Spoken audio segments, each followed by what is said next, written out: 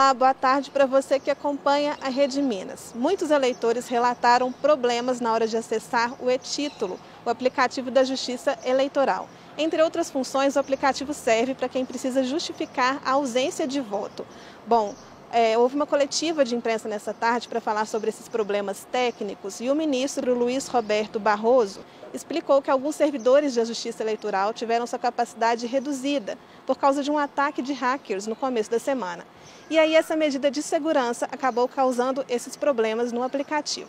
De qualquer forma, quem não conseguiu usar o aplicativo para justificar a ausência de voto, pode fazer isso nas sessões eleitorais da cidade de onde estiver. Lá tem formulários para serem preenchidos de forma manual, ou pode esperar também até amanhã. Essa justificativa poderá ser feita no site do TSE.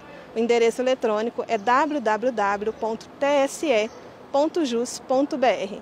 Marcela Martins para Rede Minas, eleições 2020.